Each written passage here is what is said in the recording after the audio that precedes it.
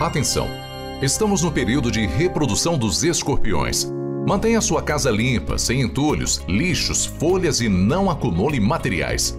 Verifique calçados, roupas e toalhas antes de usá-los. Conserte vazamentos de água e mantenha os ralos bem tampados. Afaste camas e berços das paredes. Redobre os cuidados e evite acidentes. Uma picada pode ser fatal. Prefeitura de Matão. Trabalho, orgulho e desenvolvimento.